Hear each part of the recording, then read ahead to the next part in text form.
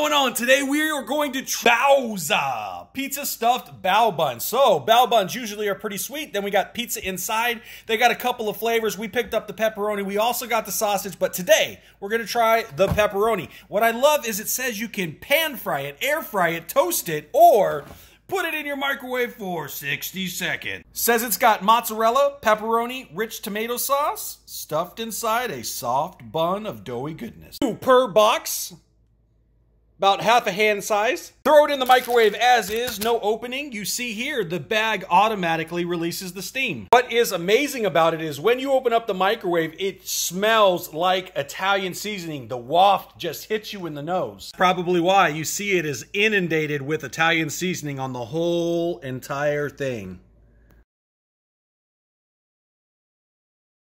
Little bit of the bao bun sweetness comes through, but because there is Italian seasoning all the way through it, it kind of cuts through that sweetness a little bit. I wish they wouldn't have put all the Italian seasoning in there in the bao bun to give you more sweetness, but it is yummy.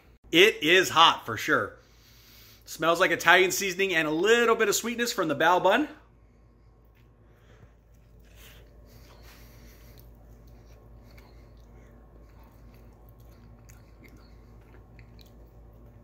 Gooey cheese there inside. So it's actually pretty good. The sauce is a little bit of a sweetness sauce. You taste a little bit of sweetness from the bun itself. The cheese is ooey gooey, and then there's little pieces of pepperonis in there, which are pretty tasty. Now, this one here is not overwhelming of the pepperoni. Uh, you taste a lot more of the sauce, the cheese, and the sweetness. This one is really, really good.